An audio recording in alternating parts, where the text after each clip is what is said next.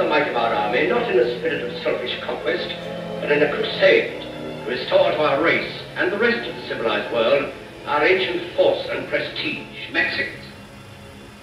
The guilt of Napoleon III, whose lust for conquest has destroyed thousands of Mexicans. The guilt of those traitors here at home who would sell their birthright to foreigners for the privilege of exploiting their fellow countrymen. The guilt of all who have conspired to commit the gravest crime against civilization, which is the despoiling of the liberty of a free people, now embodies itself in the person of the usurper Maximiliano von Habsburg. Let him who would come to our shores to rule over us as a tyrant know that the cause of democracy has not perished and shall not perish. Done at Saltillo this first day of May, 1864.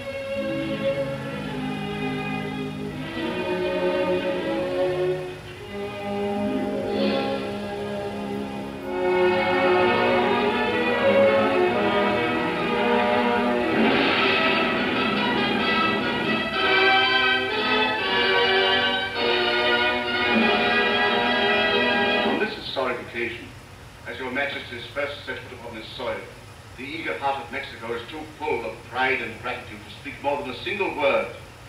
Welcome. It is with a feeling of profound reverence that we set foot upon this soil, Senor, in the full consciousness of our obligation to it, and to those who have entrusted their destinies to our hands.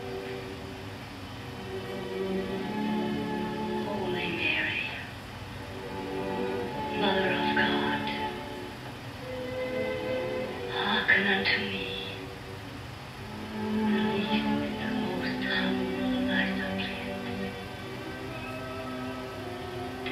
me not, I beseech thee, pain and the agony which were thine. Deny me not most blessed of women, joy and the ecstasy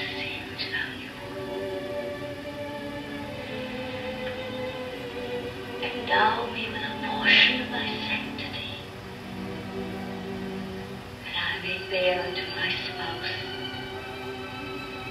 a son.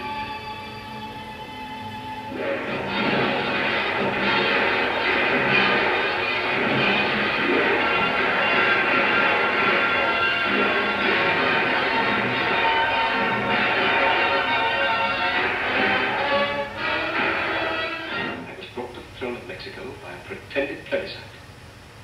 A fraud. And now Am expected to maintain myself upon it by the slaughter of subjects who neither acknowledge nor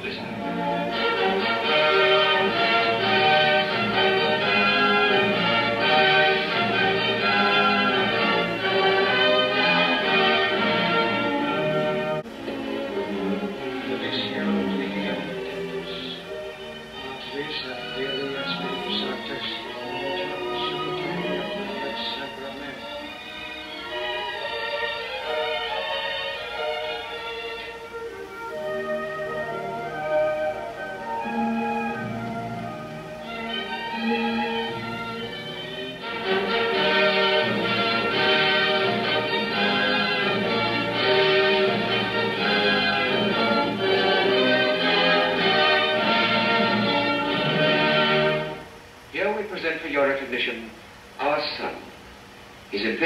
Augustine, Crown Prince of Mexico.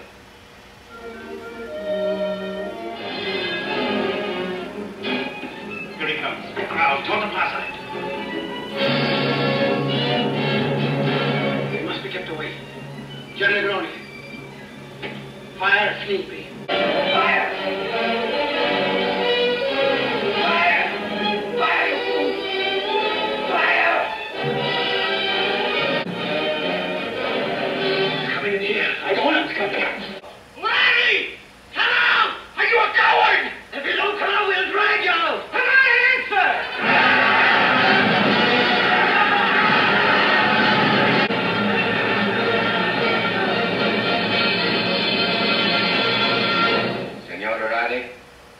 come here to denounce you as a traitor before the people whom you have deceived.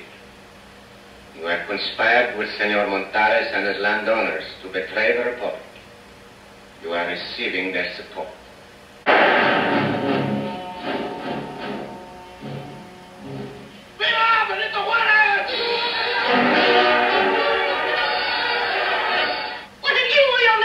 conceived the plan to mask your infamy behind my husband's noble name. Who tricked him into accepting the throne by means of a pretended plebiscite?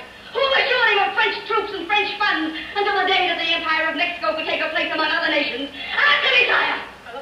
What are the names of your ministers which were affixed to the Treaty of Miramar? Did your ministers sign this letter? I urge you to count upon my everlasting friendship. You may rest assured that my support will not fail you in the accomplishment you are so courageously undertaking. Ah, Answer me, sire! It is useless, madame. Not another franc. Not another man.